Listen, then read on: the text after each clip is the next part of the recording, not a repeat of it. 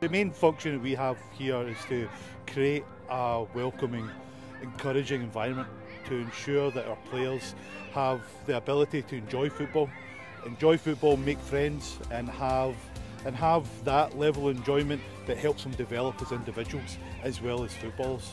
So through the club we've got 27 teams. That ranges from 2013, so four and five year old, all the way up to amateur. We've also got a girls section, which is two, two different age groups, under 11s and under 13s.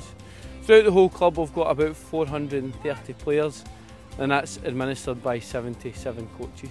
So we're, we're a fairly sizable club.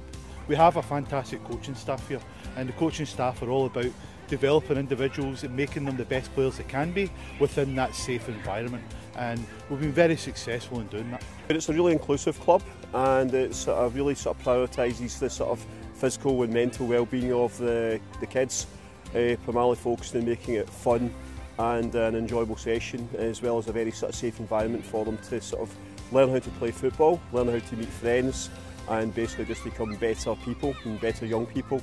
Uh, it's, it's absolutely fantastic. The club gives them all sorts of opportunities to get out, get physically fit, uh, to not be stuck behind a computer all the time.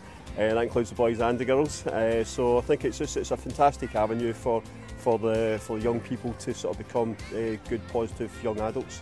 Everybody gets together on a Sunday morning to watch the girls, and it's a massive part of everybody's life now. I think.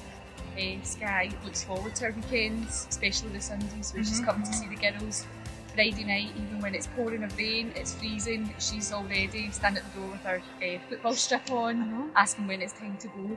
So it's a big, massive part of all of the girls' lives. It's all about developing the individual. It's all about ensuring that you work as a team and you play football and you let you play it the Barrhead way, ensuring that as a as a group you're encouraging each other, you're helping each other, you're helping your teammates out, and you real you become a real family as a team.